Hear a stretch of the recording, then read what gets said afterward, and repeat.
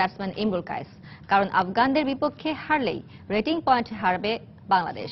তবে বিশ্লেষকরা এও বলছেন, আফগানদের বিপক্ষে হারানোর ভয় থাকলেও ইংল্যান্ড সিরিজের আগে প্রস্তুতির দারুণ উপলক্ষ বাংলাদেশ ক্রিকেট দলের জন্য। এটা একটা ভালো একটা আমি বলব যে বিফোর ইংল্যান্ড আমার কাছে মনে হয় খুব ভালো একটা ট্রেনিং হয়ে যাবে প্র্যাকটিস ম্যাচের মতো। যে কোনো দলের সাথে জয়লাভ করলে কিন্তু মনোবল চাঙ্গা হয় এবং সেক্ষেত্রে ইংল্যান্ডের সাথে এটা টনিক হিসাবে কাজ করবে কিন্তু অদৃশ্য এক ভয় তাড়িয়ে বেড়াচ্ছে বাংলাদেশ ক্রিকেট দলকে। ওয়ানডে র্যাঙ্কিং অনুযায়ী বাংলাদেশের নিচের দল আফগানিস্তানের অবস্থান দশ নম্বরে।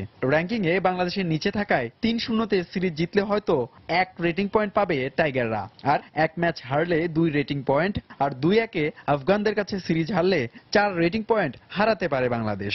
রেটিং পয়েন্টের সমীকরণের এই ধারণার ব্যাপারে আইসিসির সাথে যোগাযোগ করলে ঈদুল আজহার কারণে এতটুকুই সাড়া দেয় ক্রিকেটের সর্বোচ্চ সংস্থাটি। আফগানিস্তানের সাথে খেলতে গেলে অবশ্যই এটা মেন্টালি একটু প্রেশার থাকে যে আহ, আমাদের চেয়ে আহ, নিচু সারি দল সেই দলের সাথে যদি আমাদের কোনো একটা অঘটন ঘটে যায় আহ, কি হবে? এখানে একটু ভয়ের কারণ থেকে যায়। আফগানিস্তানের সাথে আল্লাহ না করুক কোনো রকম যদি অঘটন ঘটে তাহলে কিন্তু বাংলাদেশের জন্য রেটিং এ যেমন পয়েন্ট কমে আসবে দ্বিতীয়ত সামনে যে ম্যাচগুলো থাকবে সেখানেও কিন্তু একটা ভীতির সঞ্চয় হবে। এদিকে ছোট দলের বিপক্ষে এমন চাপের ব্যাপারটি অবশ্য অস্বীকার করেননি এই টাইগার ব্যাটসম্যান যে কোনো সময় যে কোনো কিছু করতে পারে যে কোনো টিমের সাথে যে কোনো কিছু হইতে পারে বাট তার মানে এটা না যে আমরা খারাপ দল। আমরা যদি জিম্বাবুয়ের সাথে হেরে যাই তার মানে আমরা খারাপ দল না। আমরা একটা একটা দিন আমাদের খারাপ যেতে পারে।